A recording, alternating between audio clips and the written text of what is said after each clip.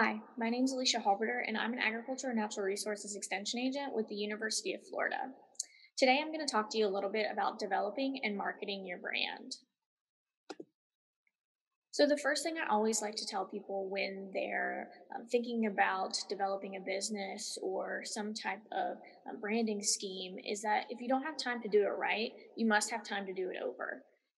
Some of you may be here because um, you're thinking about starting in the cattle selling business, some aspect, whether you're selling live animals or whether you're um, looking to sell um, beef products. And some of you may already be doing that and just looking for advice. But I always tell people that you need to do the research and everything beforehand. And that way um, you're not stumbling along the way and you start off with a lot more progress in the beginning than, um, you know, trying to figure it out as you go along and, you know, potentially making um, some serious mistakes. So, some things that we want to look at first are some branding regulations. Now, these can be um, extremely serious or really lenient depending on what side of um, the selling you are trying to do. But number one things you want to look at are trademarks and copyrights for any potential slogans or brand names that you're looking at um, revolving around your business around. So we don't want to infringe on any trademarks or copyrights that are currently in place. Um, you don't want to use slogans from any other company. Um, you don't want to uh, copy any names or logos or um, branding guidelines that other companies are using. That is just pretty much asking to get sued and potentially um, having issues, serious fines um, implied on you, you know, from the get go. So make sure you're not infringing on any trademarks or copyrights from other businesses. If you are starting your own company and you have um, a, a brand, a logo, some slogans you're I'm looking to have instituted with your company, then you know consider trademarking or copyrighting those to protect yourself. Um, and so people can't infringe on your trademarks and copyrights and utilize the things that you're using to develop and market your business. Pay attention to the federal and state regulations on your product. So, this is especially important if you're selling um, consumable products, even raw beef or um, you know beef products like cooked food, jerkies, things like that. Um, every state has different regulations on what you can and cannot do. Um, the federal regulations obviously are applicable across the nation, um, but your state and local regulations are going to be really what you need to research. Um, this includes the inspection process. So, like here in the state of Florida, to be able to sell any um, what we would consider local meat or to sell um, any of my um, cattle products, if I wanted to have them um, harvested and then sell that beef, that has to be done at a USDA approved slaughterhouse, um, and that meat has to be inspected by a USDA inspector. Your state may have um, some different regulations regarding that, but make sure that you're following those guidelines.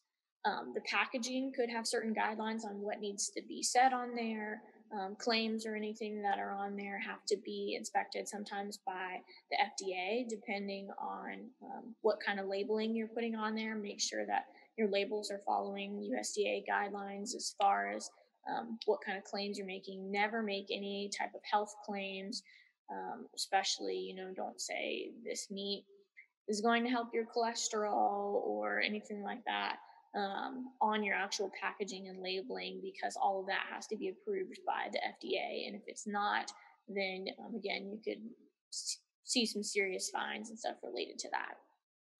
And then look at the regulations regarding your platform of where you're intending on selling this product. So, um, most of us are on social media now. We know that there's a ton of opportunity for sales on social media, but especially um, on Facebook and other uh, sites like that, you might have some regulations on what you can and cannot do. Facebook has um, banned the sale of live animals on their platform, so um, we don't want to be doing anything like that that's going to give our business a bad name or potentially have our social medias banned, anything like that. Some other advertising um, platforms online also have some regulations you need to be aware of. So um, just look at you know where you're intending selling that product and what kind of regulations um, might be instituted because of that, and then also how that might impact your business, um, whether it's worth you know investing in in that platform or not. Um, markets like farmers markets and in-person sales, convenience stores, things like that that you might be marketing your product to will also have um, their own specific regulations or might be regulated by the state. So make sure you're paying attention to those regulations and abiding by all those rules. I always tell people that it's all about the brand. So, um, you know, us as cattle people typically think of, um, you know, our, our, brand on our cattle. That invokes a, a response or a feeling. Everybody knows what your brand is. They know what your family represents, how that brand is associated, you know, in the industry. So it's not just your particular logo. It's not just that brand that you're sticking on the cow. It's an experience invoked to each individual who's going to come across your business, whether they're going to end up purchasing a product or not. So we want to make sure that experience is a great experience. We want them to tell their friends about it. We want them to come back. We want them to be um, invested and purchase products and continue to come back and, and purchase products from us. So we need to develop a brand that evokes that that great response in them um, and you know has those marketing guidelines in there that is going to keep them coming back and inviting their friends as well to purchase more products advertising and marketing are not the same. So pretty much anybody can advertise their product but not everybody can market their product effectively. So advertising is simply just saying here's what i have buy it if you want. Um, whereas marketing is here's my product, here's why it's great, here's why you should buy it, you know, here's all of the great aspects of it. Um, and really is more of an effective plan to get people to purchase your product rather than just saying, here's what I have, please purchase it. So, a bad advertisement in general is just going to give really basic information. It's going to leave your potential buyer with a lot of questions, and it's going to provide no visuals, nothing for them to see your product, to, you know, make any type of connection to your product. Our society now is very visual. All of our advertisements need to include some type of visual aspect. Often, bad advertisements result in a lot of wasted time for the seller. Um, you know, us livestock people, we consider these tire kickers, people that are going to ask you a lot of questions about your product and then never end up purchasing um, that product, whether it again be a live animal or um, some type of a byproduct of the industry. So we want to avoid bad advertisements. What are we going to look for in a good advertisement? A good advertisement is going to promote your product in a way that easily conveys information to a potential buyer, provides all the necessary details, includes a variety of visuals, and these type of advertisements generally have genuine customer contacts. So i can look at this advertisement um, displayed here. I see tons of different pictures that i can look at for the product. The product has a lengthy description that tells me everything i need to know how much it is where i can purchase it um, you know some highlights about it what it's going to do for me some ways to utilize that product maybe um, there's tons of different ways that you can make a good advertisement but make sure that we're focusing um, on one, providing a lot of visuals and including all the necessary details. This will also save you a lot of time in the end because people won't be contacting you for those very basic questions um, and wasting your time having to answer those. So spend that time um, investing in writing a good advertisement for your product um, in order to market it effectively rather than on the back end where you're just trying to answer questions constantly for people who aren't really interested in purchasing that product. So, how do I market my product then? We want to first create a strategic business plan. Um, we want to be consistent in our branding and messaging, and we want to make sure that we're developing a presence online. So, creating a strategic business plan is going to be different for everybody depending on what type of industry you're getting in, um, how involved do you want to be. That's probably the first thing that I tell people in their business plan is determine how much you really want to invest in this. Not only um, you know initial startup funds but time as well. Do you have uh, you know are you working full time on the farm as well? Do you have a, another full time job? Um, do you have a family? Do you have um, animals or, or, any other type of thing that's going to require your attention um, how much attention and time are you really going to be able to devote to this business? And make sure you're fitting that into your strategic business plan. We often can um, really kind of over um, stretch ourselves and say that you know this business has a lot of opportunity. I want to just grow it grow it grow it or we start out really big um, and you know kind of um, make ourselves not be able to sustain that because we started out too large so make sure we're creating a business plan that incorporates some growth but starts out on a smaller scale reduces your risk reduces your investment mean, really determines if that's something that you want to be doing before you're um, really going all in. Developing that uh, marketing, you know, strategy and as part of your business plan is going to be really important because that's going to encourage you to be consistent in your branding and messaging. So you should already have a logo developed. You should have some type of color scheme um, developed for your uh, business that's kind of related to your logo. You should um, have some type of slogan or messaging that you're going to stick to. And then this way, you're giving potential buyers um, a simultaneous experience across your brand, no matter whether they're visiting you in person, whether they're visiting you online, whether they're hearing about you from a friend, um, or seeing your product on a shelf, something like that. You want to make sure that when they see that logo, they know who you are and what you stand for, what your business is is about. Um, you know, we can see this in commercial uh, branding and marketing every day. When you see the golden arches, you automatically know that that's McDonald's. You know McDonald's slogans. You know um, everything that's associated with that business. So, as even though our businesses may be on a much smaller scale, we need to follow those same guidelines. And then we want to develop a presence online. So, um, our society is 100% focused on um, online interactions with businesses now. Um, they really like that they can either purchase products online, never leave their house. They like that they can engage with businesses online, especially through social media um, or a website. They want to be able to develop all their information without um, talking to a person generally. Um, and then once they decide that they want to interact with that business or purchase a product, then they want access to a person. So um, we're going to talk a little bit about developing that online presence. So, the benefits of developing a presence online, um, I generally talk about three things personal connection, consistent engagement, and word of mouth multiplied. So, with personal connection, again, like we talked about previously, people really want to engage with um, the owners or um, employees of a business. They want to have some type of personal connection, particularly in um, animal involved um, businesses and when especially when we're talking about um, clients that are more on a local focus or um, some type of sustainability, something like that. However, you're marketing your product, especially if you're marketing local meat, they want to have that personal connection. So these customers love to see um, personal stories about your farm. They love to see um, photos and they want to be able to interact and, and be able to experience it and feel like they're actually there and a part of that operation.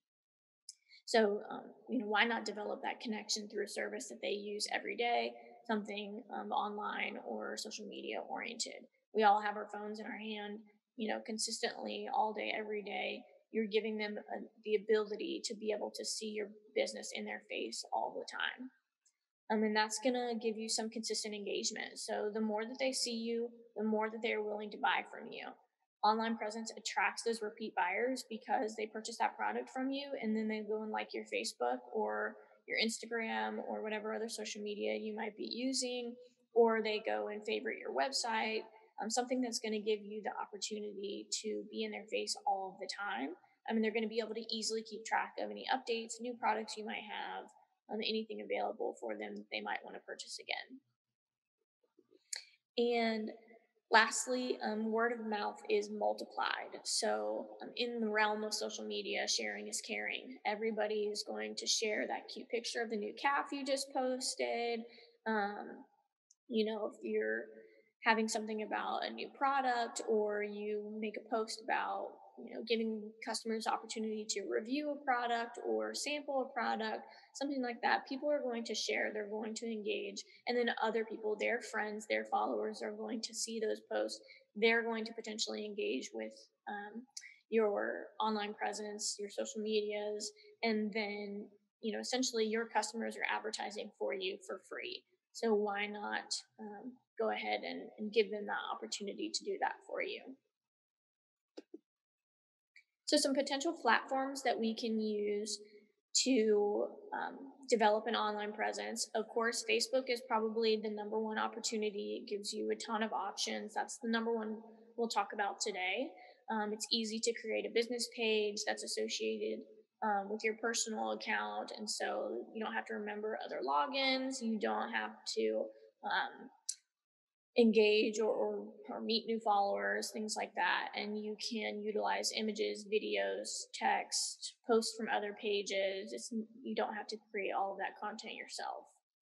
Um, Instagram is a great option as well. It's a great supplementary account, I think, for businesses, especially if you um, are going to use a heavy dose of photos in your marketing. However, um, it is a bit harder to utilize for um, text or providing links or an option for them to, um, you know, visit your website directly, things like that. Um, it's more of a fast paced kind of social media. So people are really just looking at your picture, liking it, and then moving on. They're not necessarily spending a ton of time on your page um, engaging with it. So um, it's an option, especially depending on what demographics you're looking at selling towards. Um, Instagram is more for uh, you know our middle and younger generations. Facebook really reaches um, a bunch a lot of people ask me about Twitter, and um, I generally tell people that Twitter is probably not a great business platform. It's really engaged with um, a lot of heavy text. Users expect a lot of content. They want you to be posting all day, every day. There's not a whole lot of use of photos and videos and things like that on Twitter, and um, just gives you limited opportunity to engage with people. So um, if you are going to have a Twitter, it might just be an opportunity for you to shuttle people to your other um, online presence, whether that be your website, Instagram, Facebook, other things like that.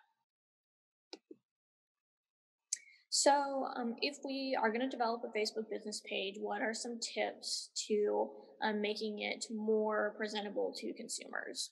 The first thing is that it has to be pretty. So, users love a great design interface.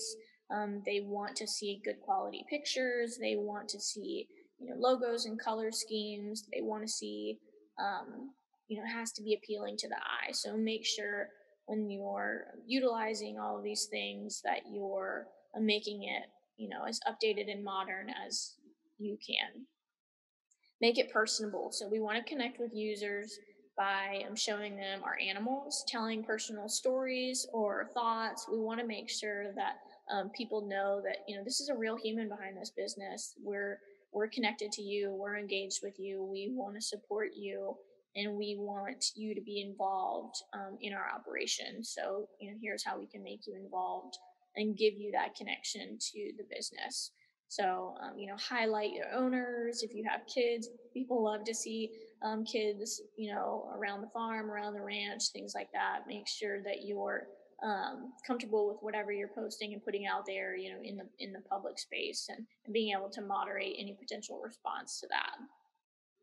The biggest thing is once you do post, you need to engage with those posts. So not only should you be um, encouraging your followers to engage in that post by commenting on it or liking it or sharing it, um, you also need to engage when they comment. So you need to go and respond to their comments um, you need to, you know, promote them to share that page or, you know, any type of, of friendly interaction with them. They're going to, um, they're going to be really positively receptive of that. So they want to, they're not commenting just to comment. They want some type of engagement. Make sure you're providing that for them. And then for your posts, we want to make sure we're posting consistently. So at least once a day or a couple times a week, you know, around the same times kind of thing. Um, and posting a variety of different content. So we're not posting the same thing all the time. We're not just simply um, promoting our products and saying, you know, here's this new product we have this week, you know, come buy it kind of thing. We want them to have some type of other connection to our business um, that promotes promotes our business, but at the same time isn't always just forcing them to spend money. So, the great things about the Facebook business page are you are provided um, what they call insights, which are basically analytics of your page. You get um, weekly updates on how much engagement you're getting, how many people are viewing that website, um, how many shares you're getting on posts. They'll even give you tips and suggestions on how to improve. Um, and really, this is just important if you're going to utilize that information. So, for example, um, I utilize that information to determine my effectiveness. Did I have a post that did really well this week? Maybe I need to post more content like that. Um, did I have a post that really didn't do very well? Or maybe people are really engaged with my uh, personal stories, but they're not really engaging with my product advertisements. How can I adjust my product advertisements to engage personal stories so they'll, you know, that engagement will kind of reach more and potentially lead to more sales? um, using those analytics is really important. It's not just there for us to just say, you know, oh, look, a thousand people looked at my post that make you feel good about yourself. Um, we really need to be utilizing that to develop our marketing plan um, to be more effective and, of course, to sell more products. I also like the Facebook business page versus like a group or just a personal page because it gives you the option to schedule posts. So this is really important to me. Um, we know that time is our number one um, resource that we're losing constantly. We can never have enough of it. So, um, being able to schedule posts allows me to mass produce um, posts at a time, and then um, a time when I, that I have available. You know, Sunday afternoons when I've got something in the oven and I'm just you know ready to uh, not do anything else. I can sit on the computer, I can produce a lot of posts, and I can schedule them ahead of time. So that way, when I know I'm going to be really busy, but I know my customers are sitting on Facebook, that they'll have the opportunity to see the posts that I've already scheduled ahead of time. And I don't have to remember to go back and post every day at 8 a.m. or 5 p.m. or um, whenever your audience is available. So this allows me to do that, not forget about it, and really have, a, again, a strategic plan involved rather than just randomly posting. There's some other online marketing tools that I found really helpful if you're going to um, manage multiple social media accounts, whether that be across different platforms or even on the same platform. So, say you have different um, aspects of your operation. Maybe you sell live cattle and you also sell beef products, but you don't necessarily want to sell those on the same Facebook page. So, if you have two separate Facebook pages for those aspects of your operation, you can use Hootsuite to um, cross post and manage your content on those um, multiple social media accounts. It allows you to blast post to both of them at the same time.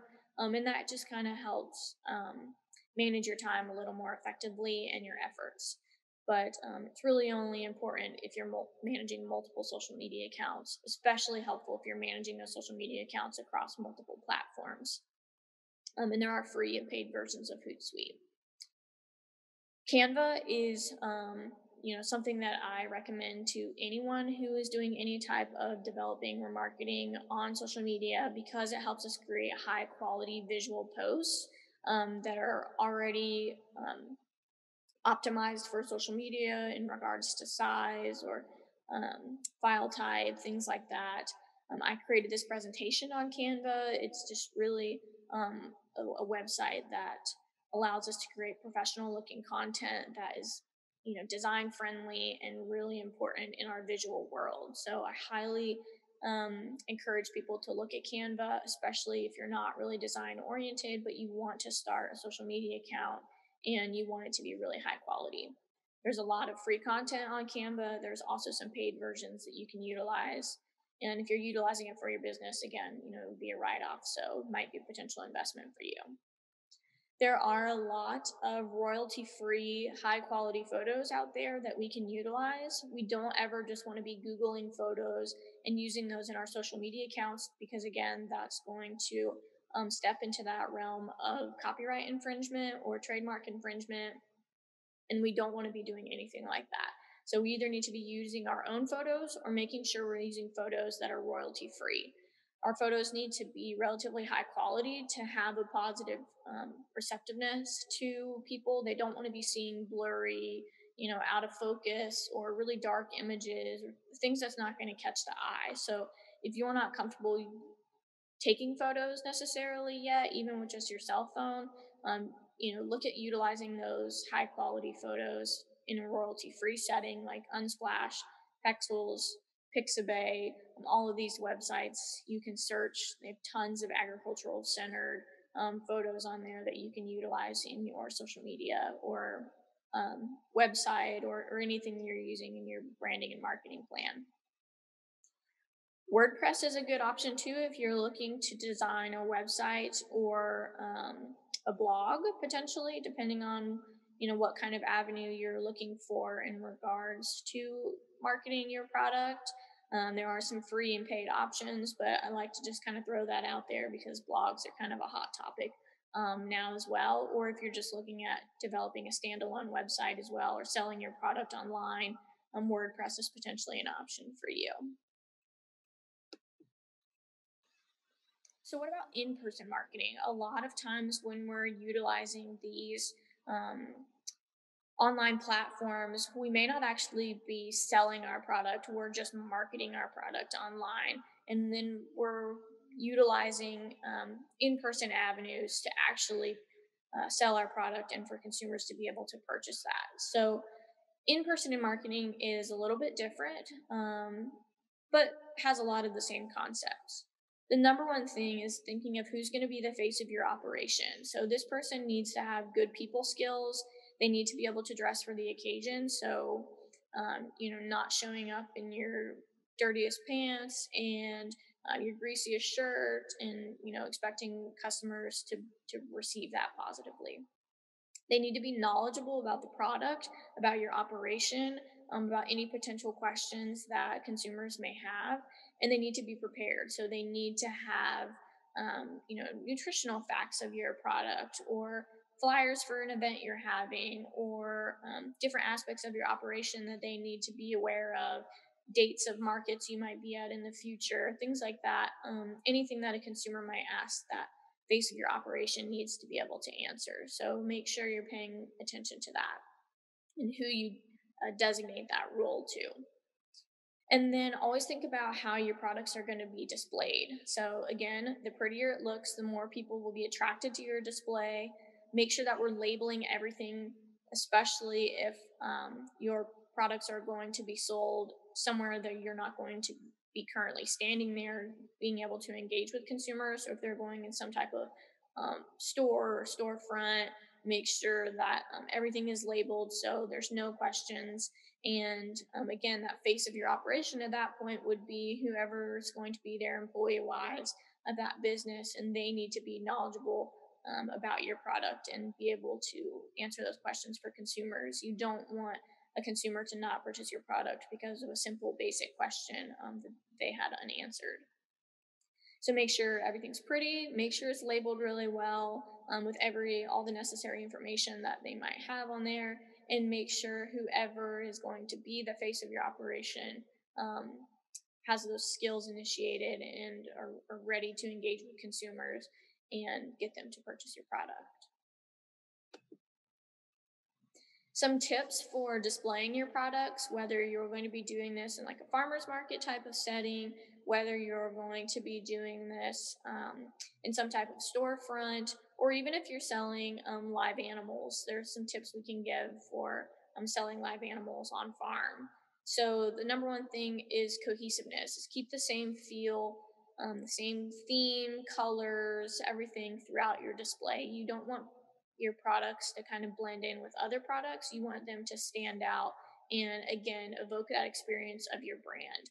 When I go to McDonald's, I don't want to think of Burger King. I don't, you know, I I want that same um, branding message to be seen through all of my products stay on top of trends. So if there's some buzzwords going around, like right now, local is always a huge um, buzzword in the meat industry. And if that's the avenue that you're trying to go as far as developing your brand and, and marketing that, um, and that's part of your messaging, then make sure you're staying on top of those trends and utilizing that in your display and make them eye popping. So your display needs to stand out from competitors.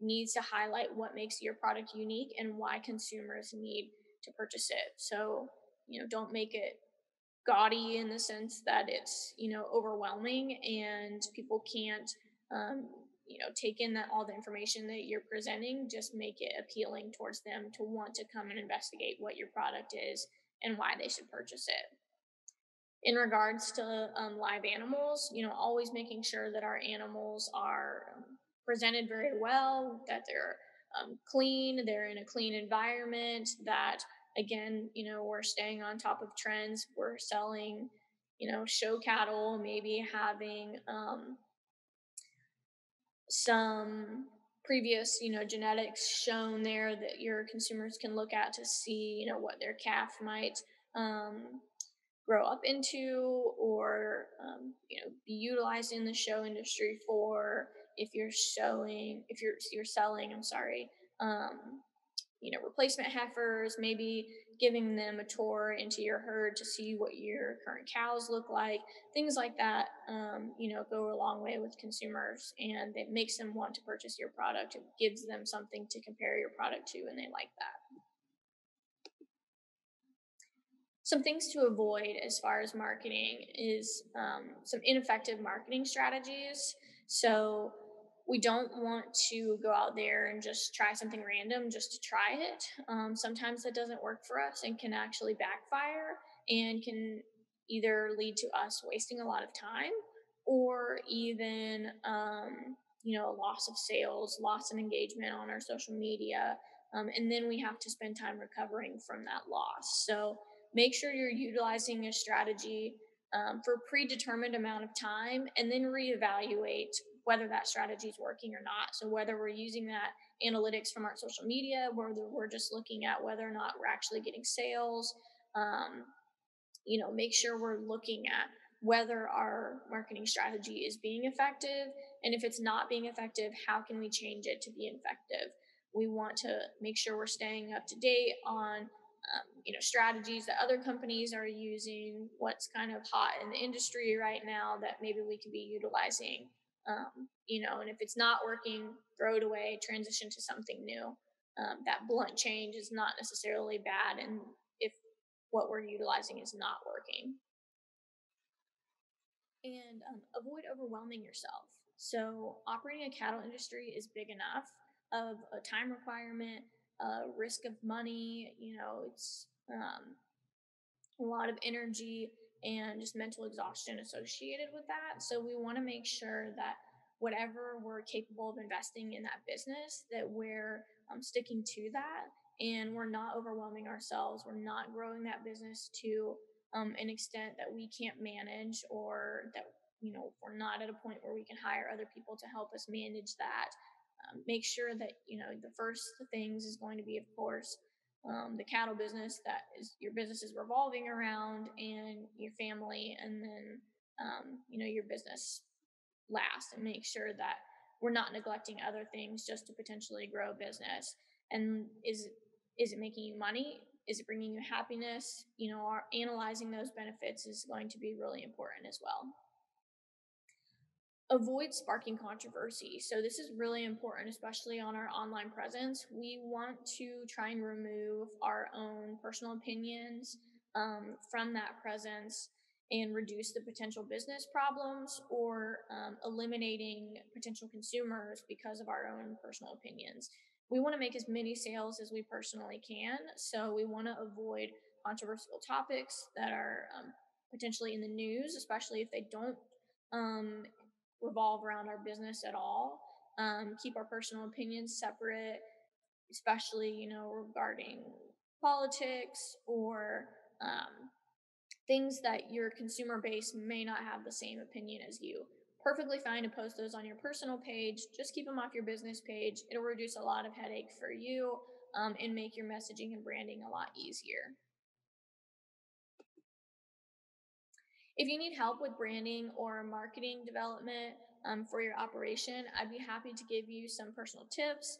If you, you know, are really confused on Canva or something and you need some some tips, uh, you know, utilizing Facebook, anything like that, um, I do all of that professionally and personally um, in my business, and I can give you, you know, tons of tips to help you um, utilizing that. You're free to reach me. This is my um, office number here and my email that you know you, you, can reach me at any time. Be aware I am in Eastern time, so um, if you're in a different time zone, um, calling me at a certain time will be um, optimal for you. But um, I'm always available to help and support you in any way that you need.